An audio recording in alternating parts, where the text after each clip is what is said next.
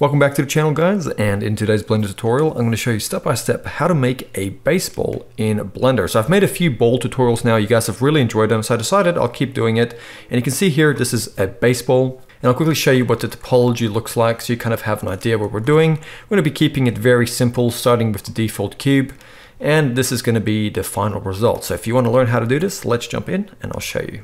So new scene opened up in Blender, we're going to select the default cube and we're going to go into edit mode. With everything active, you're going to right click and go subdivide. And under the subdivision tab here, let's make that five subdivisions. And once you've made it five subdivisions, close this little tab here. And now with everything active, you're still going to go Shift, Alt, and S. So Shift, Alt, S on your keyboard, and you're going to move your mouse, and you're going to round the shape out, and then just click like so. And now we have it rounded out. Now we're just going to make sure we have the face select mode enabled. And then in our wireframe, we're just going to go ahead and select half of this in the front orthographic view. We're to press X and we're going to go delete face. And then we're going to go to our top orthographic view by pressing 7 on a number pad. And let's select the back here. And we're going to go once again X and delete faces. So now we only have a quarter of this thing like so. And what we're going to do, we're going to go to our modifiers. We're going to give this a mirror modifier. And we're going to enable the Y as well. So we have both the X and Y enabled, and we're also going to enable clipping. Now what we're going to do is we're going to go to our edge select option over here. And we're going to come over here, we can see we have this square. So you can see here we have an edge running up and then all of a sudden it goes like this. We're to start here, we're going to hold and shift. Then we're going to come over here, we're going to go down like so. Holding and shift still, we're to come down to here. And then you can see over here we have that same corner as we have up here. But what we're going to do, instead of going on this way, we're going to still hold and shift and we're going to keep on going this way, like this. So what we have is almost like this Z shape selected over here. It runs from this top over down to here. And then you're going to go Control B or Command B. And while you're doing that with the bevel, you're just going to roll your middle mouse button up once to add an extra segment. And then you're just going to left click twice. And now we have something that looks like this. And what you're to do, you're to go to your vertex select option. You're to select this vertex here in the middle. Go to your proportional editing. And with this vertex, you're going to go G and you're just going to round it out by bringing it in like so. And then you're going to select this one down here and you're going to go G and you can do the same thing here just to kind of round it out. You can see this kind of flow goes around like this and comes down to here. Now what you're going to do is you're going to tab back out. You're going to come to your mirror modifier and you're going to go ahead and apply. And then you're going to tab back in Inside of edit mode again, you're going to press A to select everything, right click and go subdivide. Now, what we're going to do is we're going to go Shift, Alt and S, and we're going to round this out again. So Shift, Alt and S with everything selected. And now what we can do is we can make sure our proportional editing is still enabled, deselect everything, and then holding in Shift and Alt, you're just going to left click on this middle loop that goes around like so. And then you can go Alt S with your proportional editing selected and just kind of bring it in a little bit like so. And once you've done that, you can go Shift D to duplicate, right click to let go. So we have this edge here, and then you're gonna go P and you're gonna go separate selection, tab back out, and now you can see we have this cube.001, which is this object here. And what you're gonna do is you're gonna go ahead and press F3 on your keyboard, and then you're gonna type in convert and you can convert this to a curve. Now we have a curve to use to make our stitches. So for now, let's just select the actual ball. Let's right click and go shade smooth. Let's give it a subdivision surface modifier. And for now, let's just come over here and hide that cube by clicking on the little eye here. So we only have our curve. Then we're gonna go Shift A. We're gonna go ahead and add in a Bezier curve. We're gonna go G, X, move it over to the side. Then we're gonna go over to our curve settings. We're gonna go over to geometry. And then under the bevel option here, we're gonna go to the depth and we're gonna increase that. And we're also gonna enable fill caps. Now what we're gonna do is we're gonna go to our modifiers. We're gonna give this an array. Let's just give it a few like so for now. And then we're gonna go ahead and give it another array. And this is gonna be the curve. Click on the little eyedropper here and then select the curve object here that we've created. And now you can see this is what we have, but we need to go ahead and press S to scale that way down, like so. And we need to come to our array and give it a lot more. So let's go with something like 80 for now. We can always change that number. And with this um, Bezier curve still active, we're just going to tab into edit mode. And you're going to click on this little box here, and that's just going to display the modifier in the edit mode like this. And now we can come into this Bezier curve and you just have to kind of zoom in close here, but you can see we have two handles here. So we have this handle here and this handle here. And if it's too hard for you to work like this, you can always turn this display off.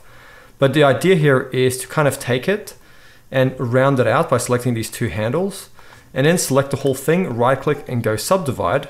And then we have a middle point here like this. So now if we turn that back on, we can kind of see this is what we have, right?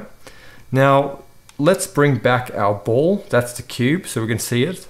And what we need to do here is select the curve and go G, Z, and bring it down a bit till we can kind of see it over here better. And then you're gonna go with this active, you can go RX and rotate it on the X till it lines up like so. And then you can go RY and rotate it on the Y till the stitches line up. And then once you're happy with the position like that, what you can do is, let's just turn this off for now. And you can grab this curve and you can go ahead, Shift D to duplicate and then R to rotate it and turn off the proportional editing. So we have one running across from it like so. And in this one, you can kind of move out a little bit like that and then bring that handle down a little bit more and rotate it. So just have kind of like a stitch going over a stitch like this. And then we can turn that display back on inside the edit mode. And now you can see we have this nice stitching. And you can always come here and scale it if you want to, or make it smaller. And if you want to change the thickness, you can just tab back out into object mode, come over to your curve properties here, and then just go over down to the bevel, and you can still change it over here. So once you're happy with that, all you have to do as well is just come over to your modifier again, and if you have too many and it's overlapping, you can always just come here to this amount and you kind of see where it meets together. In this case, it might be a little bit different for you, but for me, I need about 80 to 81 of these stitches. And you can kind of look at references to get it the way you want. But this is how you make a baseball with simple stitches. So let's now select the whole thing. Press A to select everything. We're gonna go G, Z, and just move it up. And then we're gonna go Shift A, we're gonna add in an plane. We're gonna go S to scale it up. And let's grab our camera. Let's go into camera view and let's zoom in. And you guys can set this up however you want. I'm just gonna place my camera about here so I can see those stitches. And then what I'm gonna do is I'm gonna go to my render settings. I'm gonna make it cycles. The device, I'm gonna make GPU. And then let's go over to the max samples and make that 50. And by the way, if you don't have a GPU, you can just keep it at CPU. Um, then we're gonna go Shift A, we're gonna add in a light, area light, we're gonna go G, Z, move it up, and under our light properties, let's give that a power of 350. This really depends on the size of your scene. And let's go to the size here and increase it over here. Now if we go Z and we go rendered, you can see we have a light on our ball. And if you go Control B and you drag over your camera, you can limit the render to your camera. And you can duplicate your light and place it wherever you want if you want some more lighting. But I'm gonna just go with a very simple kind of lighting setup here. About two or three lights should do just fine. As long as you have a way of seeing your texture. So let's go over to our shading workspace. Make sure you're in the camera view, Z, go rendered. And let's start by selecting the stitches. Let's go new and let's give that a red material, like so. And then let's select the actual ball. Then we're gonna go Shift A, search, and we're gonna get a noise texture. Let's plug the color into the base here. Shift A, search, and let's get a color ramp node, place it over here. And let's come here to the detail and make it 12. Now let's come here to the roughness and drag that up as well. And then let's drag these two values closer so we get a bit more contrast. Then once we have that done, we're gonna grab the black value here and just make it a bit lighter and make it a little bit more of a color by bringing it into the yellows here, but less of a dark value, something like this. And now all we have to do is go Shift A search and get another color ramp node. And let's plug the color into that. And let's take this output here and put that into the roughness. Now we have a little bit of roughness and let's adjust the values here, bring them in a little bit. And then we're gonna go Shift A search and get a bump node, plug that same color into the height, and then take this normal and plug it into the normal of your board, and then bring the strength down to 0.1, like so. And here we have our baseball material. If you want it to look a little bit less dirty, you can kind of drag these values around here, but as long as we have a little bit of texture here, you could even add a little bit of texture to the red here, the stitching, but I'm just gonna bring the roughness up for now, just so it doesn't look as reflective. And that is it. You can now adjust, grab your stitches anytime you want, and go into edit mode, and then you can just adjust these Bezier curves here until you are happy with how the stitching is positioned. And just one more thing, if you go into edit mode with this ball, you can actually go ahead and select, by holding in shift and alt, select these inside loops in here. You can go control B to bevel them again. And then you can kind of have more topology here that you can select. And you can enable um, proportional editing and you can go alt S. And you can kind of like grab these and make a little bit more of like a lip around here to make it kind of look like it's been kind of sewed and also just gives it a little bit more um, definition. So you essentially what I'm trying to say is you make the fabric look like it's kind of being pulled a little bit by adding a bit of a lip.